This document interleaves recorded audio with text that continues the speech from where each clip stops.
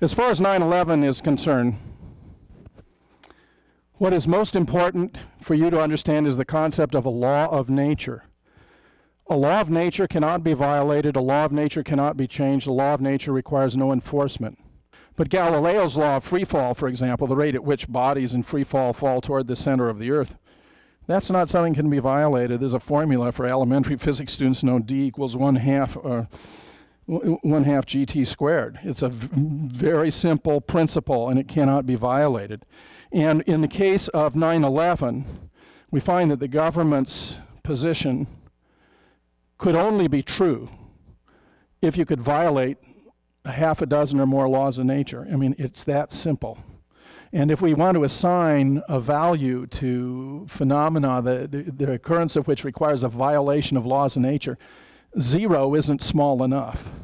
Because if you assign a probability of zero to some event, that suggests, well, it might occur, but it occurs incredibly infrequently. Actually, in the case of laws of nature, since they cannot be violated at all, the value would have to be like null. So it can't just be zero, but zero with a bar through it, meaning this is impossible. Violations of laws of nature are physically impossible. And yet the government's official scenario is replete with violations of laws of nature, as I am going to explain. Now, if you want more sources on 9 11, and more of them are becoming available uh, daily as more and more uh, students of the case, including many highly qualified scholars, including physicists, persons who, in terms of their background with the physical sciences, is far greater than my own as a philosopher of science, where I have a great interest in scientific reasoning and critical thinking and logic and logical theory. Okay, what we need is the merge, you see, of the patterns of reasoning applied to the physical data to yield the result that the government is trying to sell us a bill of goods here that's not even physically possible.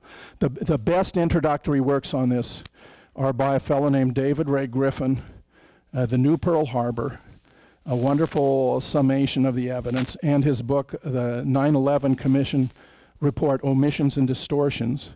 And I will uh, let you know that there's a new book that will be out in the spring entitled uh, 9 11 and the American Empire, which is co edited by Dave, David Ray Griffin and by Peter Dale Scott, who is one of the most celebrated and accomplished of all JFK scholars. He's a professor emeritus from Berkeley. And I am very uh, honored that the first essay that will appear in that collection edited by, by Griffin and Scott is one that I have authored entitled uh, Thinking About Conspiracy Theories, the Case for 9 11. So I'm going to give you a, a, distillation of what, what I have turned up and what others have independently turned up, including now, most recently, a physics professor from BYU who's not known to be a raving lunatic. Uh, about the pure physics of the case, because the laws of physics and of material science and of structural engineering indicate that this is an impossible scenario that we have been asked to believe. So you have to consider now, we've got two kinds of conspiracy, right? You got these 19 hijackers, um, near simultaneously hijacking these four planes and flying them into the Twin Towers and the Pentagon, and versus a more extensive conspiracy that involved culpability of a kind that, that, as in the case of JFK, leads directly into powerful figures in the administration. I mean, it's uh, almost impossible to see how you can account for what really happened without going that way. But I don't want to presume, I want to present the evidence and for you to understand and sort it out for yourself, and then I'll be glad to take your questions. Now, the key issues to consider are going to be the, the, the rate at which these buildings fell, the temperature at which steel melts, the order in which the buildings fell, and uh, the force that would have been required to turn concrete into a fine powder. Those are some of the key issues that I'm going to address. These two buildings were some of the most remarkable structures uh, in, in engineering history. They were two 110 story buildings. They were extremely well constructed and they were designed, as I will explain, to withstand the impact of aircraft collisions, even multiple aircraft collisions.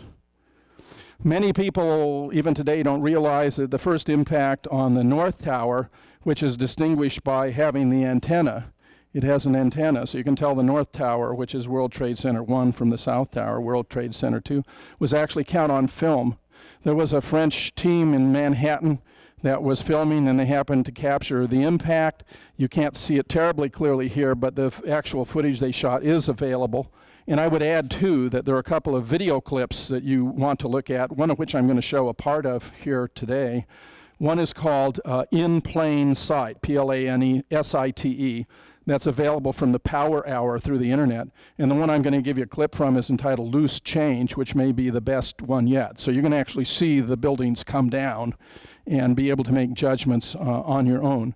Now, the, the North Tower was hit by American Airlines Flight 11, which took off from Logan Airport. It was a 767, about 758, and it was in the air for about 50 minutes when it impacted with the 96th floor of the North Tower at 8:46 a.m. Much more attention was being devoted to the to the twin towers at this point in time. So there's a lot of footage of the impact with the uh, south tower. Here we see uh, the plane approaching the south tower as the north tower is in flames. Here's the plane coming forward. This was United 175, also out of Boston's Logan Airport, another 767. It took off at 8:14 and impacted with the 80th floor at about 9:03. Interestingly, its amount of time in flight was about almost identical with that of flight, Air, Air uh, American Airlines 11, about 50 minutes in the air. Here's this tremendous impact and the explosion and the fireball. And what you want to appreciate is that a tremendous amount of the fuel that was aboard the aircraft was burned off in these fireballs within the first minute or two. A tremendous amount of the fuel that was aboard the aircraft was burned off. So the amount that remained was not so extensive. It turns out it turns out that uh, steel has a melting point of 3,000 degrees Fahrenheit. The steel used in these buildings was certified by Underwriters Laboratory for, to 2,000 degrees Fahrenheit for up to six hours. Six hours.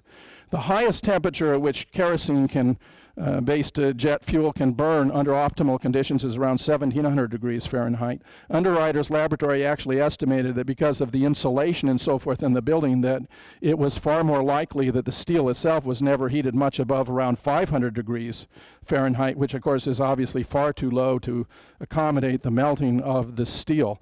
The, the highest temperatures that were measured in the South Tower were around 1300 degrees Fahrenheit, but still way, way below what would have been required. Now, what's interesting about the fall of the buildings is the order in which they fell. The, uh, the uh, South Tower uh, fell at uh, 10 a.m actually 9.59 after only 56 minutes from impact. So it was only 15, 56 minutes of exposure at temperatures that were far too low to actually melt steel before the building came down. The North Tower, however, was exposed for an hour and 37 minutes. So it's very curious that the building which was exposed to these, uh, these fires, which are uh, alleged to be the cause of the collapse of the building, fell in the wrong order. They fell in the wrong order. If it was actually the heat from the fires that is supposed to precipitate their falling, then the North Tower, which was hit first, should have fallen first. But it was the South Tower, which was hit second, that fell first.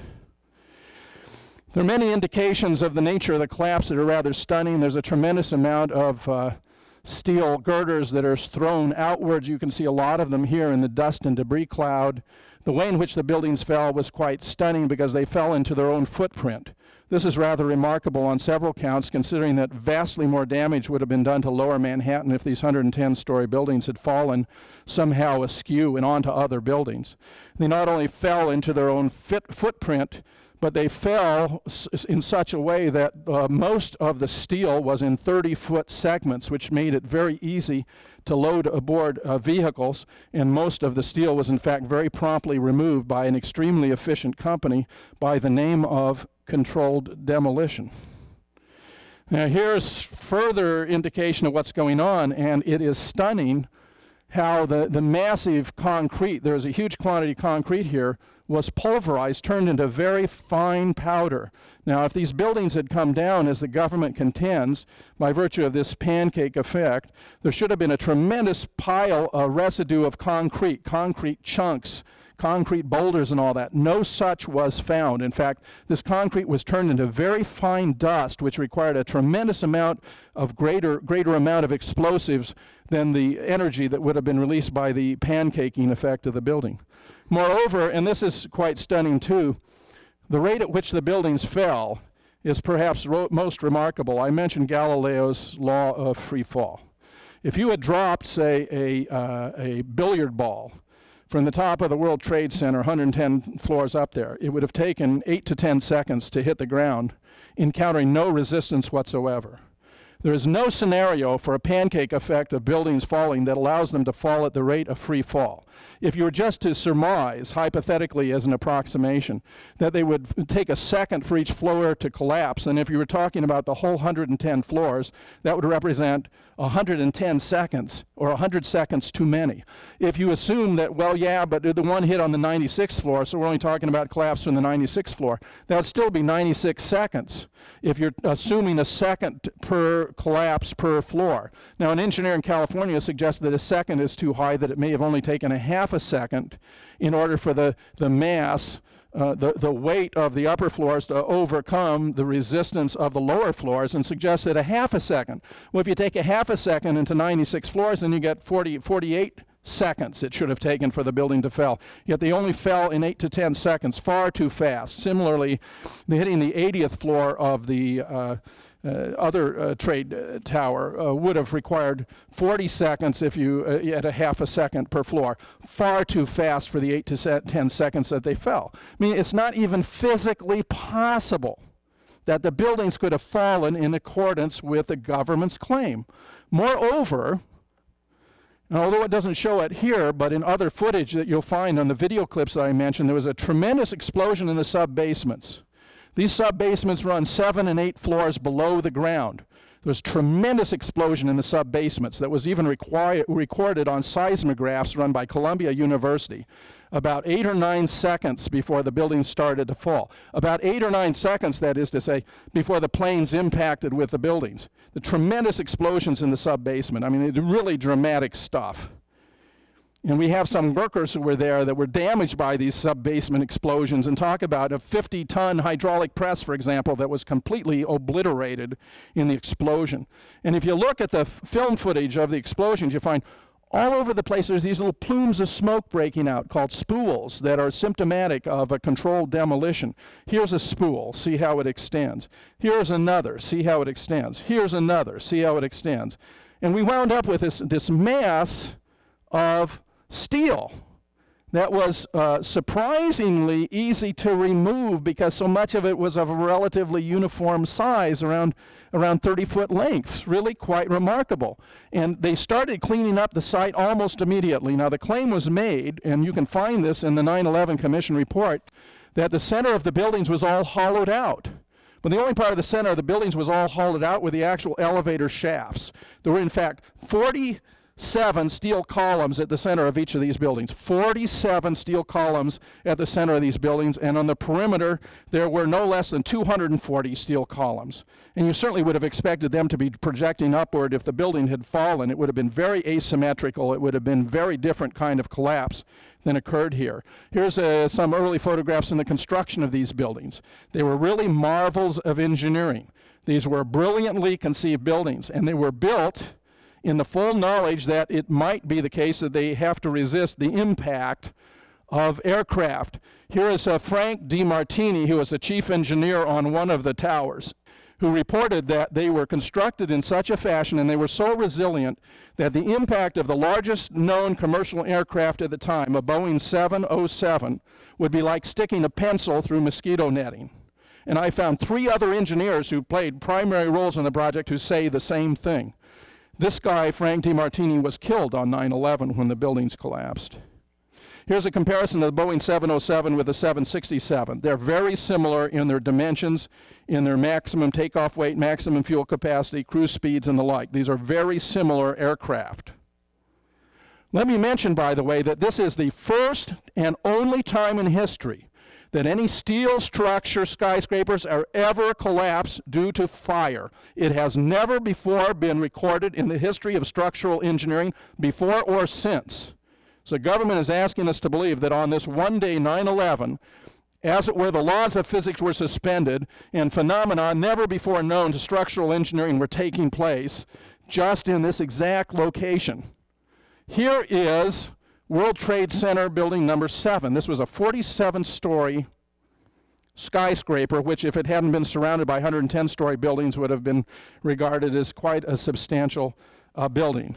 This building fell at 5:25 p.m., never having been hit by any aircraft and only having sustained two relatively small fires. And it was brought down by what we know was a controlled demolition.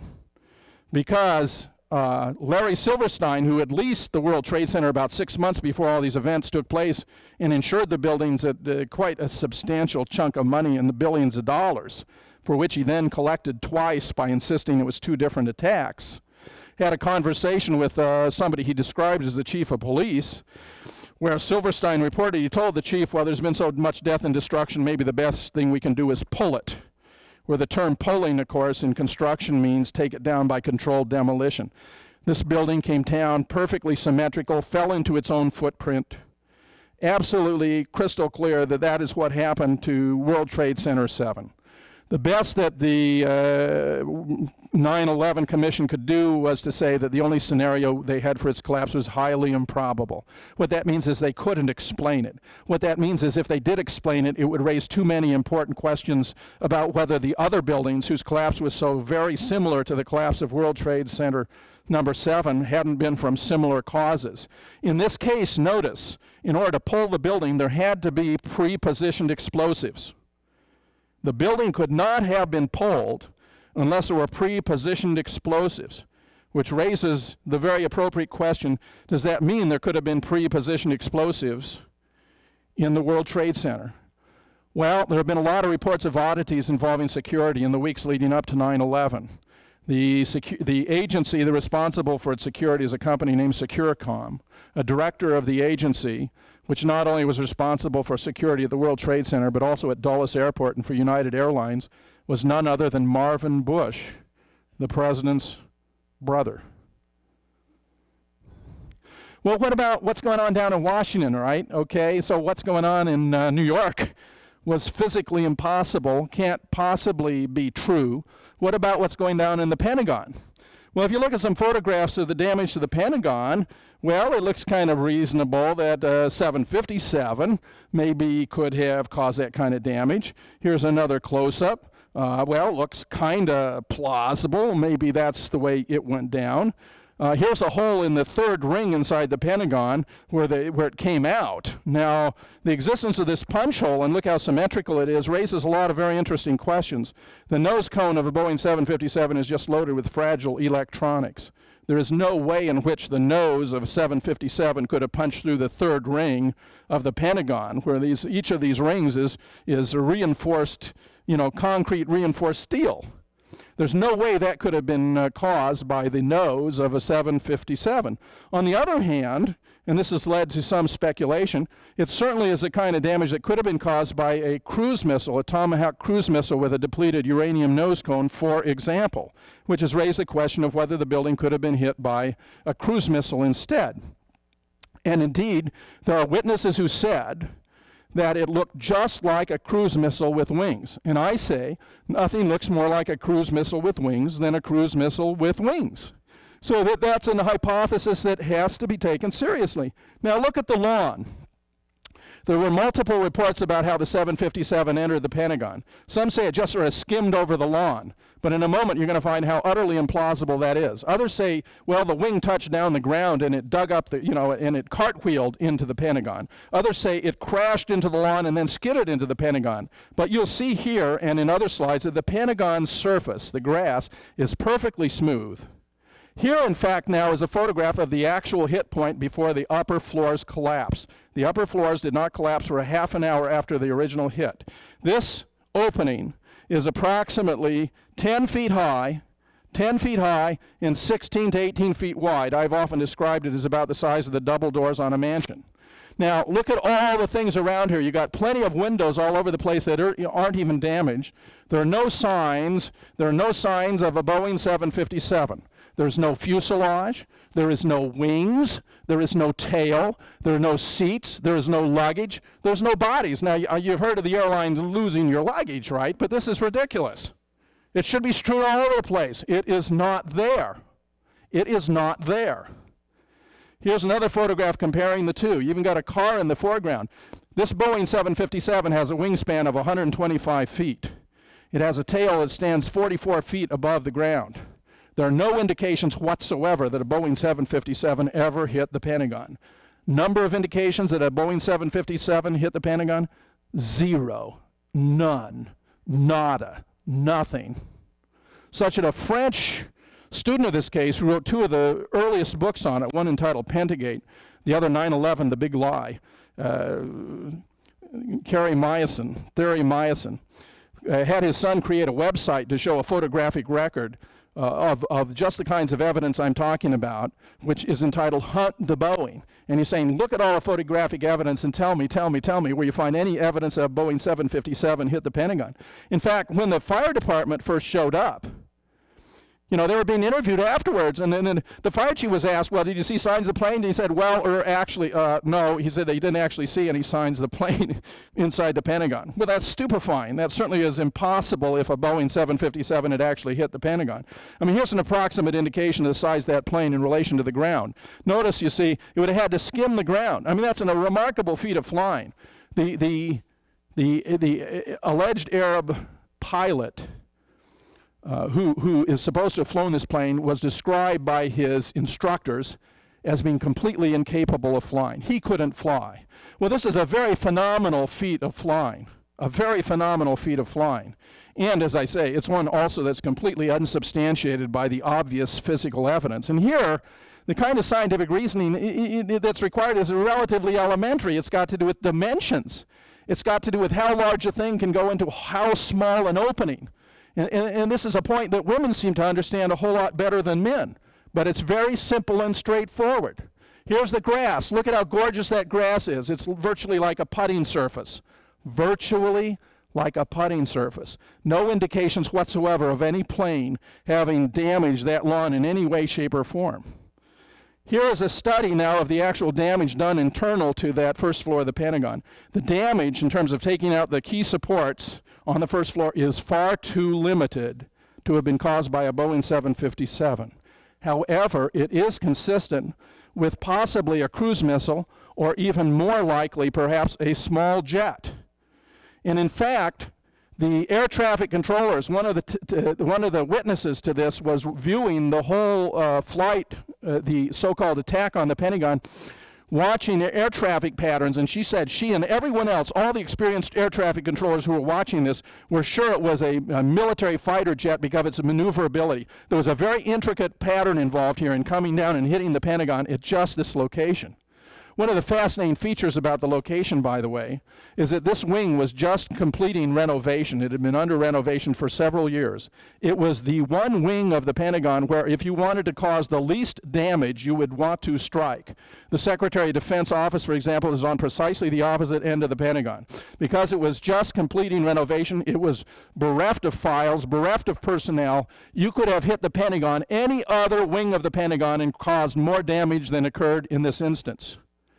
Now, the Pentagon is not a vulnerable building. It's probably the most highly defended building in the world. There are known to be all kinds of anti aircraft batteries that surround it. There are all kinds of photographs and films. Cameras are constantly taking security photographs. And the question becomes why were none of those activated? If you assume, an hypothesis I'm going to pursue, that it was in fact a military plane that was emitting a friendly transponder, then that could account for why the anti-aircraft defenses were never activated. Well, is there any evidence for that? Here are four of the only frames that were released by the Pentagon from a, from a uh, service station across the street from the Pentagon. As in another case we're going to talk about, the FBI were Johnny on the spot. They showed up to take this film within 15 minutes of the strike on the Pentagon, where the service station owner hadn't even had a chance to review it himself. So the Pentagon has all this footage that it could easily release if it were so inclined, but which it has refused to do. There's one frame and only one frame that seems to show an aircraft or the semblance of an aircraft. In the meanwhile, there were these two gentlemen in suits who were out putting around pieces of fuselage here and there, uh, one of which actually was photographed, as Jack White observed, and you can find in a PowerPoint presentation he has on my website, Uh, observe this was photographed in several different positions, and yet it cannot have come from a Boeing 757. This fuselage, this piece, just doesn't fit. You know, you can move it all around on, on the plane, and you won't find a place where it fits on a 757. And it appears to have been planted. Here's a, here's a group of, uh, you know, military guys taking a big a box that's covered with tarps, concealing something. What do you imagine it's concealing? I would surmise it's probably concealing something that would have put to the lie to the government's official story. No single part may be more important than this. This is a component of an engine. This is the only component of an engine that was found in the Pentagon. This engine component is too small to be from a Boeing 757. It's, it's, it's also too large, however, to be from a cruise missile. It turns out that this component, however, fits the engine that is used in the A3 Sky Warrior, which is a slightly antiquated jet fighter. Now, it just so happens that several of these A3 Sky Warriors were being, being uh, overhauled at a, a small airport near Fort Collins, Colorado where they, the, the, the contractors were brought in in teams, so none of them knew the work the other contractors were doing with them. They put in a new uh, guidance, uh, a remote control guidance system on the thing, the new missile components on the thing, a whole lot of sophisticated equipment, leading those who were working on this thing and sort of observing what was going on to suspect that this was not just for target practice. Here's a silhouette of an A3 Sky Warrior. If you look here in the corner, we find here, this is where there is some silhouette of an aircraft. And if you impose that silhouette on the photograph, it just happens to correspond to that of an A3 Sky Warrior. And interestingly, there's uh, an, an, ejection tract here that could very well be from a missile being fired by the plane just as it's about to impact with the Pentagon, to make, of course, the damage that much more substantial. Here is an explosion that was going off. When Jack first put this up in his PowerPoint presentation, he thought it was somebody who just happened to be on the spot when the plane initially hit the Pentagon. But notice you can see all the flames, all the smoke. Obviously, this isn't the initial explosion. What we have here is the explosion that brought down the top floors. So that's very interesting. This is like 30 minutes after the initial impact. And remember, that initial opening is only 10 feet by maybe 16 to 18, much too small to accommodate anything like a Boeing 757, but the sort of thing you might well expect if it had been hit by, for example, an A3 Sky Warrior. Interestingly enough, although the lawn is completely unperturbed, the Secretary of Defense had the whole lawn chewed up and completely resurfaced. And I suggest that that would have the effect if someone goes to visit the Pentagon and they hadn't, weren't familiar with photographs that were taken at the time of the attack, they might very well infer that, my goodness, there must have been tremendous damage when that uh, commercial airliner hit the ground and they had to redo the whole, the whole lawn, except the whole lawn was perfectly smooth as a putting surface. So why was that done? Here's another example. Look at that lawn. Now I know the Pentagon, you know, pay $3,500 for a toilet seat and $1,200 for a wrench, but you'd wonder why are they resurfacing a perfectly good lawn? Clearly they had a purpose. There was a reason. Now I haven't talked about Pennsylvania. This, uh, the flight, by the way, 77 was out of Dulles. It flew out at 8:20. It was in the air about an hour and 20 minutes before it impacted with the Pentagon at 9:40. United 93 well, flew out of Newark. It was another 757. It took off at 8:42 and went down over Pennsylvania around 120 uh, after an hour and 20 minutes in the air at about 10 a.m. Actually 9:58. Now, because I do a lot of radio talk shows and, and you know I'm I'm looking at a lot of these cases people have heard of me, and I had calls and letters from residents of Pennsylvania in the vicinity of where the plane went down, and they were telling me how they explained to the FBI that there had been an explosion in the air before the plane hit the ground, but the FBI would not even write it down. Others were saying how they had sheriffs who were taking them to an area outside the officially circumscribed area of the crash, telling them they were going out there to look for, for fuselage parts and body parts in, into this much broader area. But if anyone, you know, if they ever told anyone that they were doing this, the sheriffs would deny that, that it ever happened. I have a, a good friend here in Duluth, recently moved to Rochester, who is an inspector general for the Air Force, meaning he used to conduct or be responsible for investigations of uh, airplane crashes for the Air Force. And he told me that the area that should have been covered by the by the, the debris of the aircraft if it crashed would be about one city block. In fact, the debris is scattered over eight square miles, which is consistent with the plane having been shot down in the air. And it turns out that that is, or appears to be, exactly what happened. Uh, it, here's the scenario because uh, a very famous Air National Guard group known as the Happy Hooligans, who are based in Fargo, were transferred to Langley. So they were actually in the immediate vicinity of the White House when 9 11 was going down. Listen to this scenario. At precisely 9:38 hours, an alarm was sounded at Langley Air Force Base, and those who were on call drinking coffee were scrambled. Thus, the 119th Fighter Wing was off for an intercept. They, the Happy Hooligans, a unit of three F-16 aircraft, were ordered to head toward Pennsylvania. At 9:57, they spotted their target. After confirmation orders were received, a Major Rick Gibney fired two Sidewinder missiles at the aircraft and destroyed it in mid-flight at precisely 9:58. He was awarded a medal from the governor one year later for his heroic actions, as well as decorated by Congress on uh, September 13, 2001. The Happy Hooligans were previously stationed in North Dakota and moved to Langley Air Force Base some months before 9 11 occurred on a temporary assignment. And there's a photograph of Major Rick Gibney, who shot down United 93. Now, we heard a lot from the likes of Condoleezza Rice and others that no one had ever thought of using uh, aircraft as missiles or as weapons. Well, this is uh, from a simulation of the Pentagon that occurred a year before 9 11 that puts the lie to that claim. I mean, there's a lot of other evidence. This is just one I was able to turn up relatively rapidly by doing a Google search. Okay? So here you have the Secretary of State who is either massively ignorant or deliberately lying to the American people about something that was actually well known to be a threat. If you read, for example, the, uh, the, the, David Ray Griffin's the 9/11 Commission report, omissions and distortions, you're going to find there was a great deal of knowledge that this was a genuine threat that was being dis- discounted or disregarded or otherwise ignored or otherwise suppressed by the administration, which raises, of course, the crucial question: Why? Was it incompetence? Or was it culpability? Here finally is a routing of the various flights. And the, and the, the, reason I want to demonstrate this is not just that United 93 went down in Pennsylvania, that much we know. What's interesting about this is that Flight 77 went off the radar screen in the vicinity of the Kentucky Ohio border.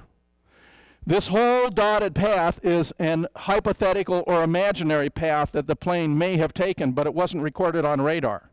And my belief is, in fact, the plane actually went down in the Kentucky, Ohio vicinity. The bodies may very well have been then transported to Washington where they could undergo forensic analysis and identification based on DNA or otherwise. And uh, uh, the plane, probably an, F, uh, an A-13 Sky Warrior, was substituted here very close to Washington, D.C.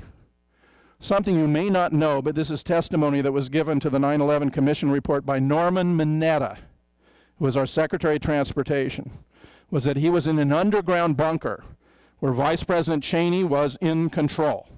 The morning of 9 11, not just one, not just two, but three different training operations were being enacted involving NORAD, the FAA, violations or suspension of all the standard procedures to simulate hijackings of aircraft on the morning of 9 11. What Norman Mineta observed was a young officer coming repeatedly to the vice president saying, It's 70 miles away, sir. It's 60 miles away, sir. It's 40 miles away, sir. It's 30 miles away, sir. Do the orders still stand? And Dick Cheney, he reported, turned around, nearly snapped off the officer's head and said, Well, of course the orders still stand. Have you heard otherwise? And I'm convinced that the orders the young officer was so concerned about were orders not to shoot down the plane as it approached the Pentagon not to shoot down the plane as it approached the Pentagon. I'm telling you, the evidence is there, and the evidence is powerful, and the message that it sends is ought to be chilling to every American citizen. Thank you.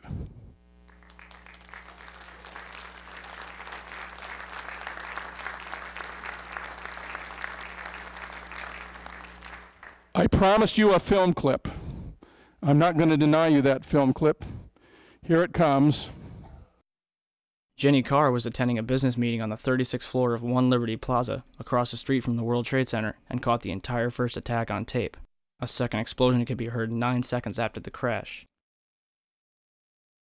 for the, you know, the right thing to this and that, to get a big train for that. Yeah. The heck was that? Was that the, um, Encore?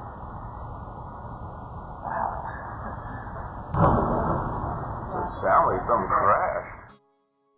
The windows in the lobby of the North Tower were blown out, and marble panels were blown off of the walls. This was brushed off as an explosion from a raging fireball that went barreling down the elevator shafts.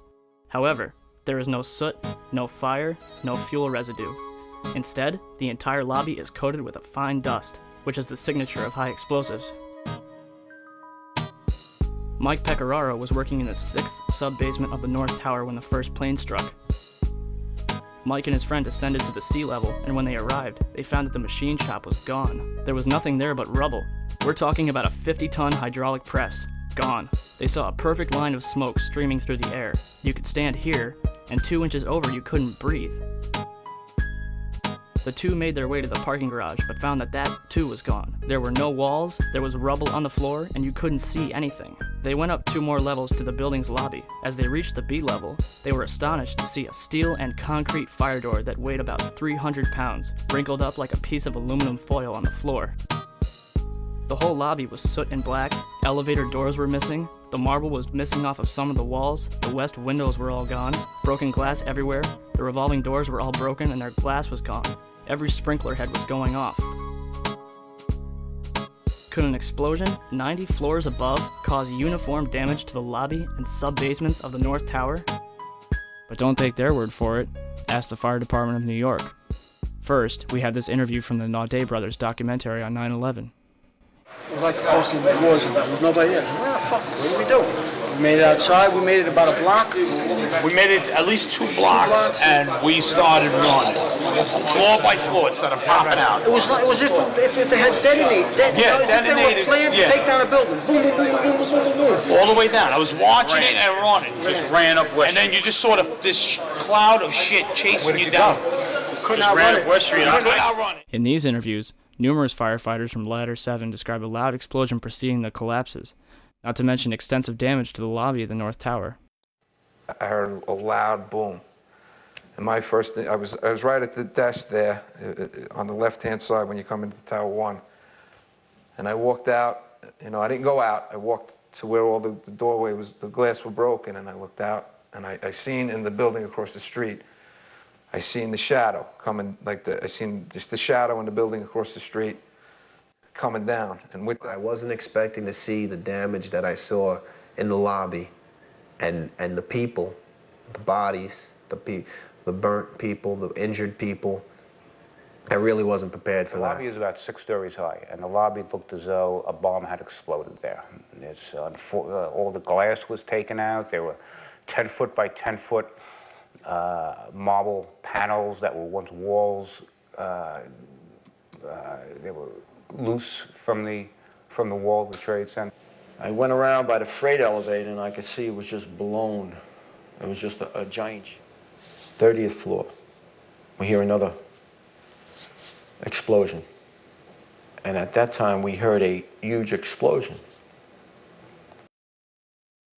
Firefighter Louis Cacchioli told People Weekly on September 24th, I was taking firefighters up in the elevator to the 24th floor to get in position to evacuate workers. On the last trip up, a bomb went off. We think there were bombs set in the building. Then, in the radio transmissions from September 11th, firefighters reported numerous additional explosions going off within the buildings. I got uh, an eyewitness who said there was an explosion on floor 7 8. 7 8. Hey, to dispatch, we've just had another explosion. Warren Street because of the secondary explosion. We've got numerous people covered with dust from the secondary explosion. And we got another explosion on the tower, 1013. 1013, Tower 2 has had a major explosion and what appears to be a complete collapse surrounding the entire area. Who's involved in the secondary uh, explosion at uh, Tower 1 camp? Moments ago, uh, I spoke to the chief of safety for the New York City Fire Department. He received word of the possibility of a secondary device, that is another bomb going off. but he said that there was another explosion which took place, and then an hour after the first hit here, uh, there was another explosion that took place. He thinks that there were actually devices that were planted in the building. Uh, we are continuing to hear explosions here downtown, and what we've been Chief Palmer had reached the fire on the 78th floor of the South Tower and devised a plan to put it out. 1-5. We got two isolated pockets of fire. We should be able to knock it down with two lines. Ready, ready to go that. 78th floor, numerous 1045 call horns. If the 78th floor was a raging inferno like the government would have us believe, then Palmer wouldn't have gotten as far as he did, and certainly wouldn't have been able to put it out. Kevin Ryan, an employee at Underwriters Laboratories, the company that certified the steel components that were used in the World Trade Center, sent a letter to Frank Gayle of the National Institute of Standards and Technology, arguing that the steel used in the World Trade Center met all the standards for resistance against a fire.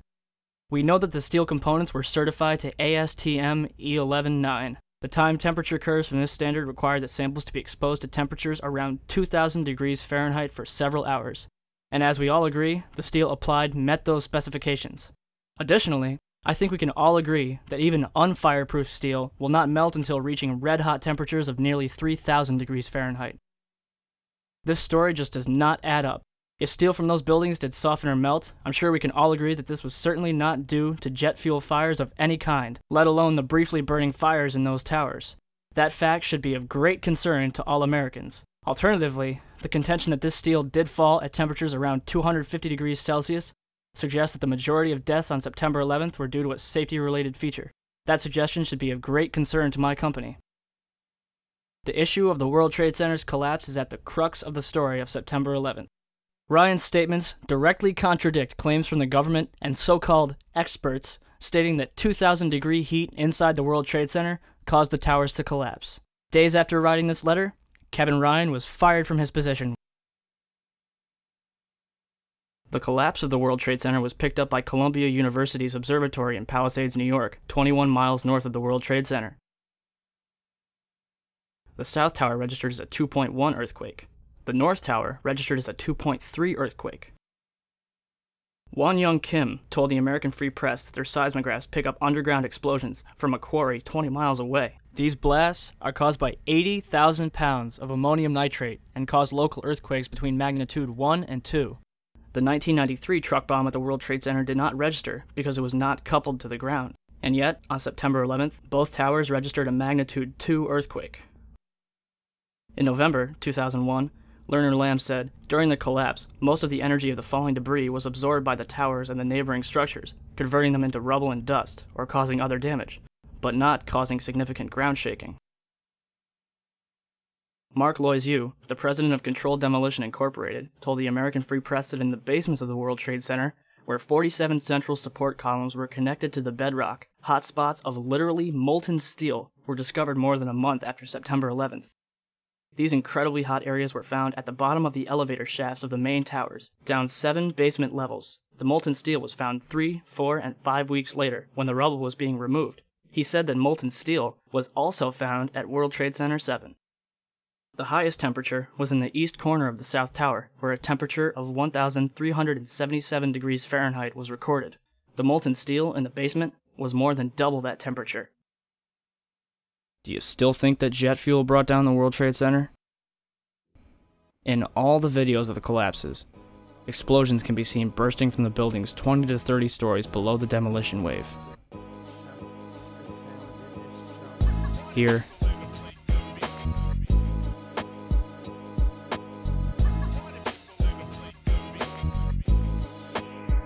here,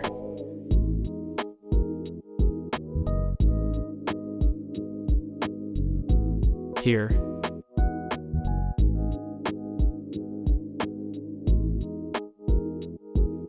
Here.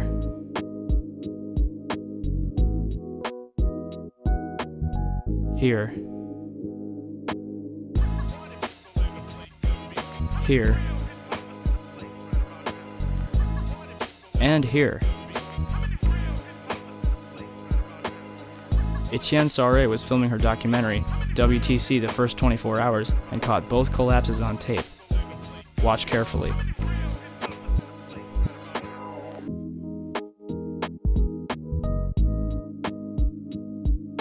The tripod shakes exactly 9 seconds before the tower begins collapsing, and a small piece of debris is knocked off of the right hand side of the building.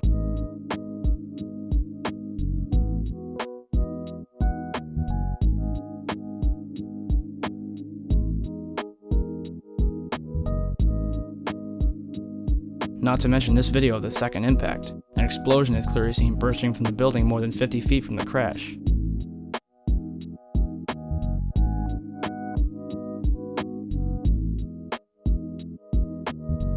You're probably asking, if there were bombs in the building, how would they get in there without anyone noticing? Ben Fountain, a financial analyst who worked in the World Trade Center, told People magazine that in the weeks before 9 11, there were numerous unannounced and unusual drills where sections of both the Twin Towers and Building 7 were evacuated for security reasons. Scott Forbes, an employee that worked a fiduciary trust in the South Tower, told Victor Thorn of Wing TV that his company was given three weeks advance notice that New York's Port Authority would take out power in the South Tower from the 48th floor up. The reason given was that the Port Authority was performing a cabling upgrade to increase the WTC's computer bandwidth. Forbes stated that a power down had never been initiated prior to this occasion. As a result of having its electricity cut, the World Trade Center's security cameras were rendered inoperative, as were its ID systems and elevators to the upper floors. There were plenty of engineers going in and out of the World Trade Center who had free access throughout the building due to its security system being knocked out. Also, video cameras on top of the World Trade Center, which were used to feed daily images to local TV stations, were strangely inoperative on September 11th. Daria Coard, a guard in the North Tower, told Newsday that security detail was working 12 hour shifts for two weeks before 9 11. But on Thursday the 6th, bomb sniffing dogs were abruptly removed from the building.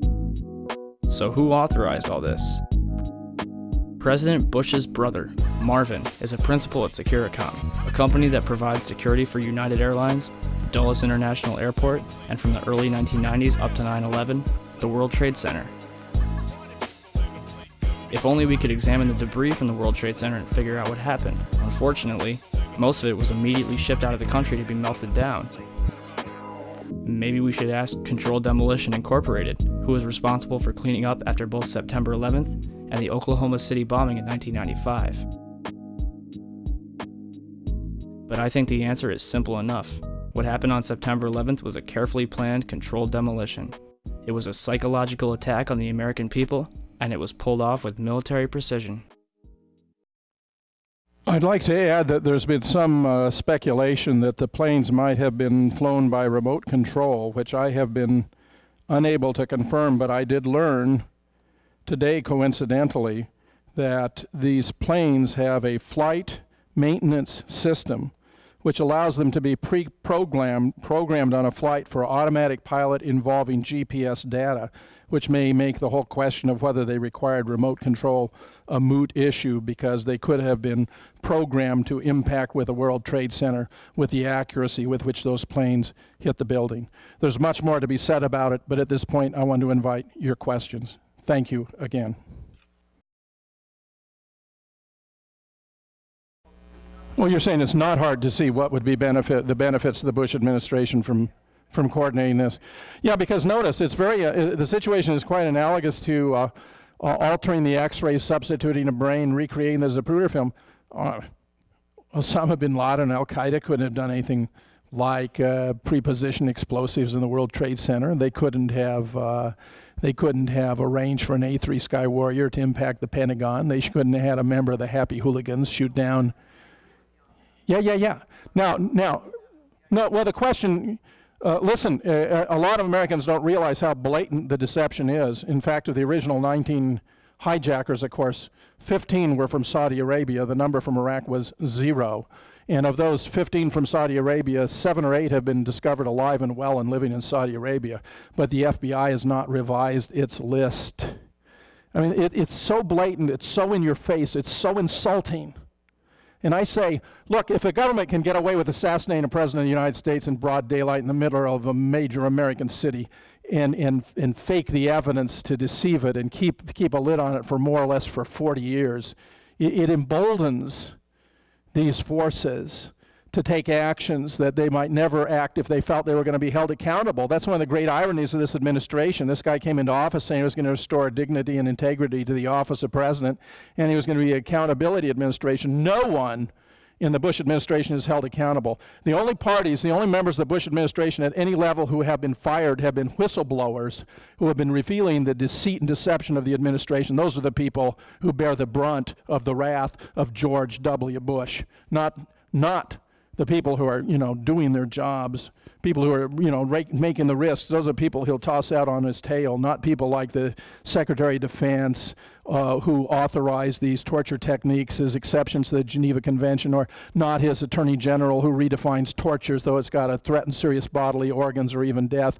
I mean, these things are atrocities, and they, they have cost the United States more of its national security than all of the terrorists in the world. In fact, they've multiplied the number of terrorists in the world many, many fold, hundredfold. What's gone on in Fallujah with the use of white phosphorus is absolutely devastating. This is a horrible weapon. I became familiar with it as an, a, as an artillery officer in the Marine Corps. And, and that the United States should be, that the Vice President of the United States should be leading a lobby to defeat an amendment that says that Americans will not treat prisoners in inhumane ways is about as disgusting as anything I've ever witnessed in my life. I was born in 1940, and uh, I'm just saying, you know, I have been terribly concerned about the administration. They, they, they, they gathered, uh, Keith Olbermann, some of you may watch his show, did a program, in, Countdown, on MSNBC. In my opinion, it's one of the better programs on television. The guy's quite brilliant, and he's also quite witty, about the, the pattern of the Bush administration finding itself in some kind of political trouble and the incidence of terrorist alerts. And he laid out a pattern of 13 different instances in which within two to four days after the Bush administration found itself in dire straits, there was a terrorist alert of one kind or another. None of them ever amounted to anything, but they changed the subject and took the attention off of the Bush administration. Karl Rove has boasted how they create their own realities and then while you are studying the reality they've created, they create yet another reality. Well, what I'm telling you, what I'm suggesting is what he meant by that is deceit and deception on a massive scale, on a scale so massive that most Americans have difficulty opening their imaginations to the very possibility that the government of the United States could be perpetrating atrocities against the people of the United States to promote its own political agenda. But that, alas, is the direction in which all of the evidence points. Any other questions?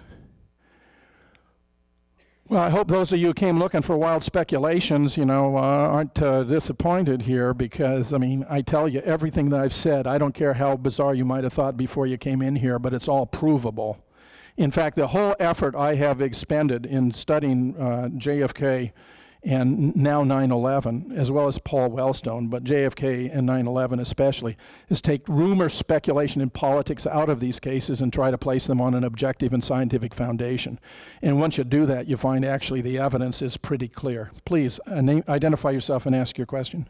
My name is Carl Want. My question is, can you talk? Uh, my question uh, has to do with the amount of payoffs that the victims of the uh, dead in the towers have received specifically, can you talk about any clauses uh, that they had to sign to preventing them from further discussing these issues? Yeah, I'm not an expert on that, um, but you know, th- there's a fair amount out there, uh, and it, it, does appear to me to be the case that this huge, you know, this was a huge uh, buy-off uh, scheme. Uh, you know, a few members of the families of the survivors of 9/11 have exerted tremendous political impact. I mean, just look at it this way you had this catastrophe, right? If it's the way the government says, it was a huge violation of American security at every possible level.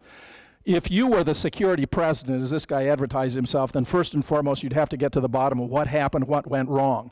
He has, in fact, and his vice president with him, consistently opposed any effort to get to the bottom of what actually happened on 9 11. They have opposed it, they've stonewalled it. The only way in which they were actually brought to even form a 9 11 commission was by the massive political clout being expended by these widows and families of victims of 9 11 who were putting them in the embarrassing position that if they didn't do something about it, they were going to be humiliated politically.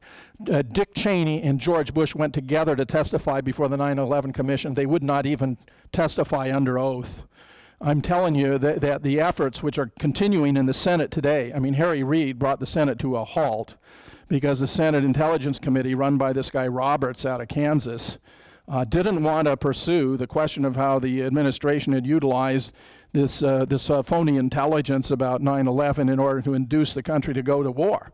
We know there were no weapons of mass destruction. We know there was no collusion between Saddam Hussein and Osama bin Laden. We know that Iraq had nothing to do with 9 11.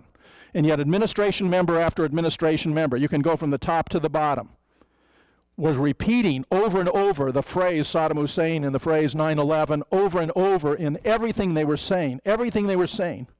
And Condoleezza Rice, of course, was talking about a smoking gun that might be a mushroom cloud. I'm telling you, this is despicable. They knew what they were doing. This was coordinated. I mean, this was their policy. This is a machine that is ruthless and effective in putting out a standard message. They do it over and over and over again. And that just happens to be, when it comes to propaganda and you're promulgating lies, one more form of conspiracy. And it's not, it's not wild eyed and it's not lunatic to recognize it for what it is. We have an administration that is at war with the people of the United States, and the sooner we recognize it, the better. Question. Could you uh, comment on the motivation for the destruction of Tower 7? Well, that's a very interesting question why Tower 7 was taken down. There's some surmise that Tower 7 may have been the command and control center for the entire operation in New York. Uh, Rudy Giuliani, who was situated there, said that they were warned that the Twin Towers were about to collapse and they had to really scamper to get out of the Trade Center, you know, while that was going on. There were put options against United and American Airlines, for example, that are forms of stock that are betting that their stock is going to drop. And there was a group, interestingly, of uh, five, six, or seven uh, Israeli art students who were discovered to be on the building, on the roof of a building uh, across the river in New Jersey, who had, uh, had cameras and telescopes and who were photographing and drinking to celebrate the event as it was taking place. This is all quite shocking. Now, I'm not implying thereby that the Israelis were involved, but the Israel has the best intelligence service in the world, which everyone acknowledges, and it suggests to me that they knew that this was coming down. Yes. And by the way, the administration, of course, was warned by many different nations that there was going to be a big strike.